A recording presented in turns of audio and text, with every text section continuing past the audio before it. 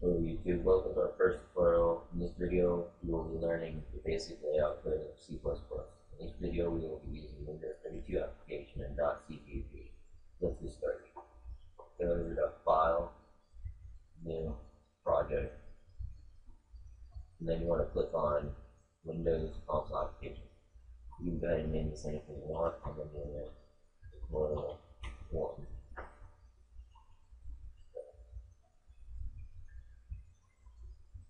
that we put next, make sure you put empty project.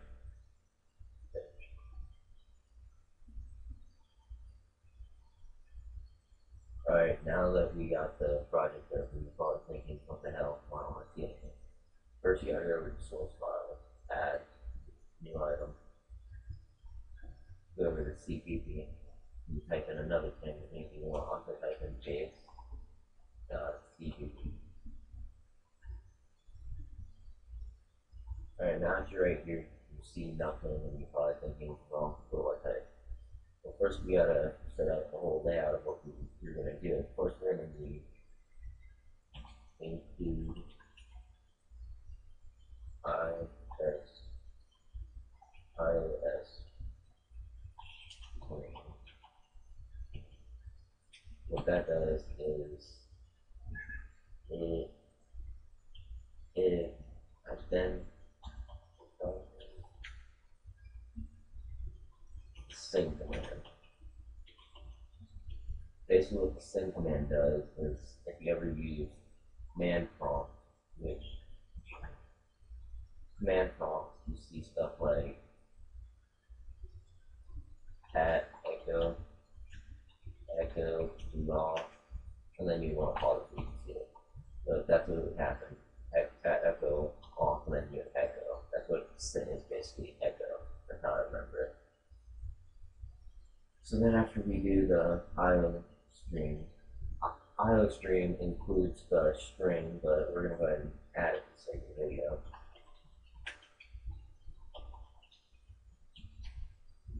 So we're- include the string also.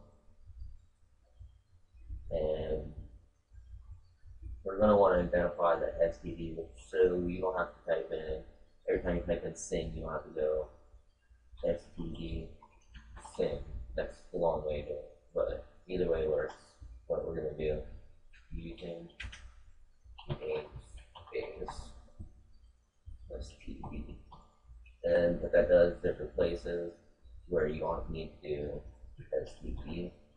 cin every time. You can just type in you just type in cin and then you just do that. Oh wait, no, you type in that. Uh, Then what we want to do is go ahead and add in the, the string test name, which is, test name is going to be, what we're building right here is going to be something that's asking for your name. Then you're going to like type in your name, it's to return the variable as hello, blah, blah, blah, your name. So we're going to have to add a string for your name, so we're going to type it in. So whenever you type it in, it's going to be a variable, so we're going to type in string s name. You can type in anything, string your name. And notice how I have this semicolon. Remember that. You need that. That's at the end of every command. You need it. Semicolon with uh with the tail of the line. Alright, and then we need to add in the big daddy program. Without this, nothing will work. You need this for every layout of it. So you need int main, and then you need parentheses for out for arguments and then I don't know if this is called, you need that tail looking parenthesis. Then I'll always leave enter. You don't have to hit enter, you can always type it in right there. I, I like to do like this. And type in calc. What calc does is basically it, I remember it's shout. About that? Shout. Uh, capitalization your name again. Then you want to go ahead and end the line. You you can do this two ways, but I'm only going to show you this way. End L. Remember, that's not a one, that's an L, lowercase l. Then we're gonna go ahead and add something so that we user knows to type something. And there we go. We're gonna go ahead and hit enter. We got to add in our table. And then you can either hit another space. Number of spacing doesn't matter. You can space it out as many times as you want. So I'm gonna add another space for the sake of. And then cin, and then s name. Okay. And what this does right here is this cin.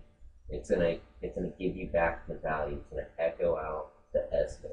So whatever you type in for your name right here, user, type, their name.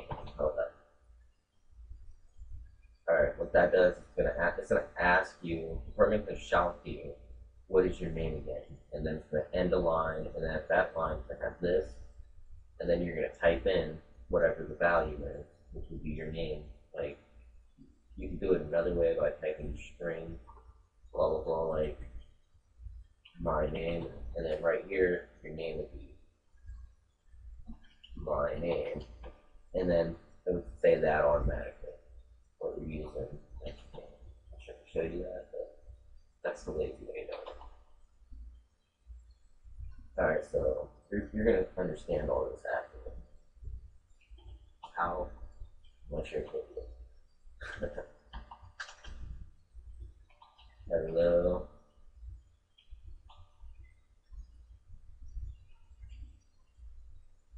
Yes. Name. I'll try. to Remember that.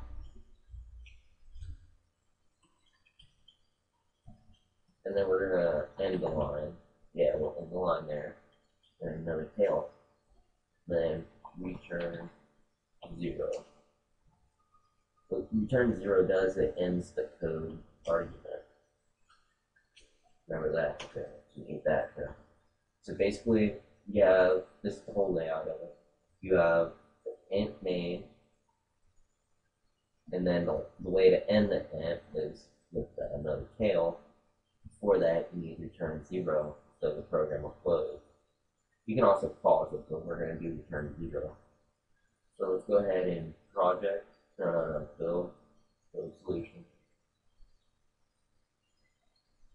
And then notice how there's going to be no errors here.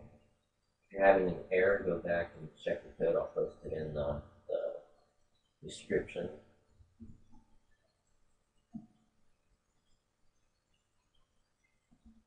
Still loading. Alright, there we go. Alright, now we're gonna start debug.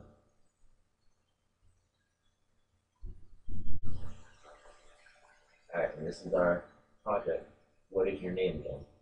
What it did is it went over here. It, it included the IO string, which is identifying the cin command. So without this, cin wouldn't work. So you wouldn't be able to use the string name value. This is, you could use IO string, which is including the string. You don't really need this, so it didn't really use this, but it still identifies the same thing. We put that in there for the sake of the video, and you know that this also identifies the same command. Using namespace std, what it did is it allowed it allowed us to use the cin with the arrows instead of typing in std colon colon cin every time. So we wouldn't have to type in cin colon colon um, no no std colon colon cin s name. Get it? Alright, yeah. Alright, then with the string name, which is the string s name, which is our variable which we're about to type. This is our variable. And we use Richard. That's our variable. And then after that, it's going to go to hello as name. I'll, uh, I made a typo, but I'll try and remember that. So let's go and type that in. Uh, it went, but it still it. Hello. Try to remember that. Then after that, it ended a line. End line is basically skips a line down. Doesn't skip code, it just makes a line on the on the, the application.